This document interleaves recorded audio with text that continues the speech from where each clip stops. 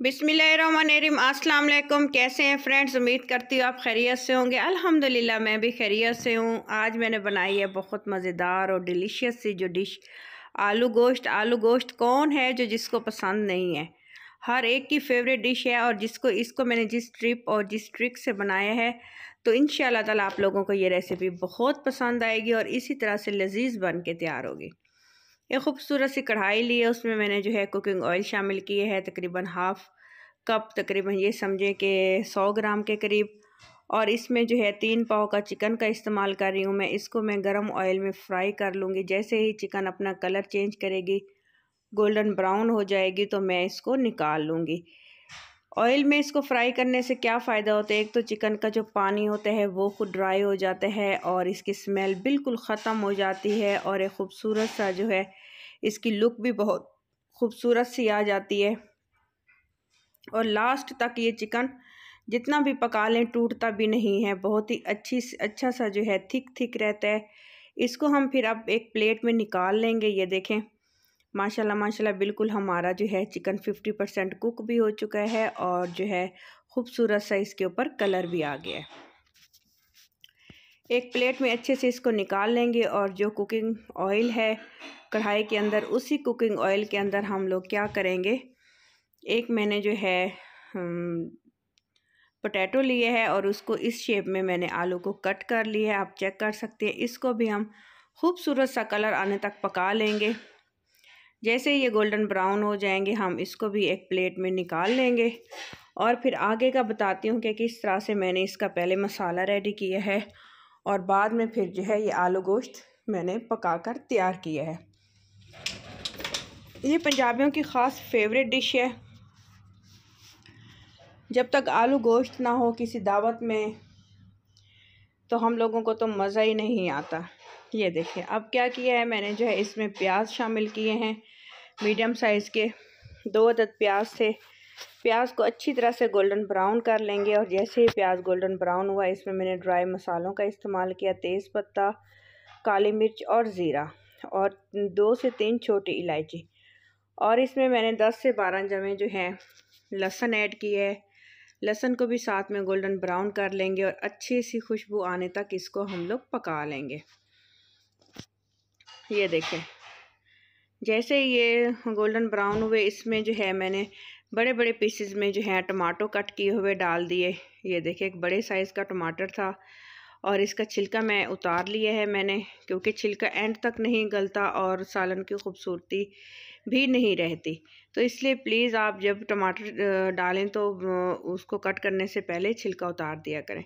Half teaspoon नमक half teaspoon कुटी हुई लाल मिर्च और हाफ़ टी स्पून इसमें कश्मीरी मिर्च और हल्दी पाउडर और हाफ़ टी स्पून ज़ीरा पाउडर का इस्तेमाल किया है मैंने।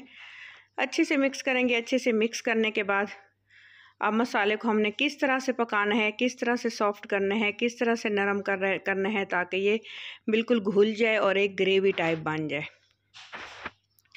साथ ही इसमें मैंने चिकन भी शामिल कर दी है। अच्छे से इसको मिक्स करेंगे और अच्छे से इसकी एक हम लोगों ने कड़कड़ाती सी जो है एक भुनाई लगा लेनी है। लो टू मीडियम फ्लेम पे हमने इसको अच्छी तरह से भून लेना है मज़ीद मसाले को भी और चिकन को भी। अब हम इसमें तकरीबन हाफ़ कप के करीब पानी शामिल करेंगे ताकि टमाटर भी हमारे गल जाएँ, प्याज भी और लहसुन भी सॉफ़्ट हो जाए और चिकन भी अच्छे से जो है सॉफ़्ट हो जाए।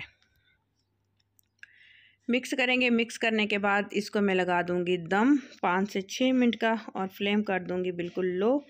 लो फ्लेम पे पाँच से छः मिनट का दम लगाने के बाद आपको इसकी कंडीशन चेक करवाती हूँ। ये देखिए, माशाल्लाह माशाल्लाह। हमारी जो ग्रेवी है, पक के तैयार हो चुकी है। टमाटर भी आप चेक कर सकते हैं, घुल चुके हैं और बिल्कुल फ्राई हो चुके हैं। अच्छे से मिक्स करेंगे। अच्छे से मिक्स करने के बाद फिर इसमें आलू शामिल कर दूँगी। ताकि अब आलू भी अच्छे से पक जाएँ। आलू शामिल करेंगे, अच्छे से मिक्स करेंगे, इसकी भुनाई लगाएँगे ताकि आलू में भी जो मसाला है वो भी लग जाए और जज्ब हो जाए। इस तरह से अच्छी सी मिक्सिंग के बाद फिर थोड़ा सा इसमें पानी डालेंगे ताकि ये देखें, दो अदद इसमें डाले हैं मैंने आलू बुखारे, ताकि अच्छे से अच्छा सा टेस्ट आए और थोड़ा सा हाफ़ कप के करीब फिर मज़ीद मैंने थोड़ा सा पानी डाला है ताकि अच्छी सी ग्रेवी तैयार हो, क्योंकि जितना आप भूनेंगे, जितना थोड़ा थोड़ा पानी डाल के इसकी ग्रेवी तैयार करेंगे तो बिल्कुल एक अच्छी सी ग्रेवी तैयार होगी। और इसमें साबत चार से पाँच मैंने हरी मिर्चों का इस्तेमाल किया है। अब इसमें हम लोग इतना पानी डालेंगे जिसमें चिकन भी हमारा गल जाए और आलू भी गल जाएँ और मज़ीद एक थिक सी ग्रेवी भी रह जाए। ये देखें। अच्छे से जो है मिक्स करेंगे। मिक्स करने के बाद फिर मैं मज़ीद इसको दम पे छोड़ दूँगी आठ से दस मिनट के लिए। जितनी आपको ग्रेवी चाहिए होगी, उधर आप स्टॉप कर दीजिएगा फ्लेम को। और क्योंकि चिकन और आलू हमारे ऑलरेडी कुकड हैं, इनको ज़्यादा पकाने की ज़रूरत नहीं है। तकरीबन आठ से दस मिनट लगेंगे मज़ीद हमें। ये देखें, मुझे इतनी ग्रेवी चाहिए थी, माशाल्लाह माशाल्लाह। ये देखें, हमारा चिकन आलू चिकन आलू गोश्त बन के हमारा।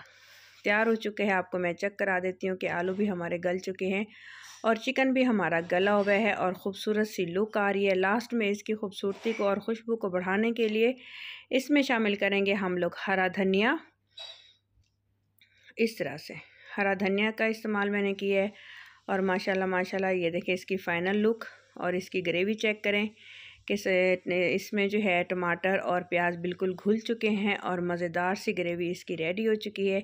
इन ताला आप लोगों को रेसिपी बहुत पसंद आई होगी और तो प्लीज़ मेरे चैनल को सब्सक्राइब कर दीजिए क्योंकि अजीम होते हैं वो लोग जो दूसरों की हेल्प और मदद करते हैं। वीडियो को पूरा देखने के लिए बहुत बहुत शुक्रिया।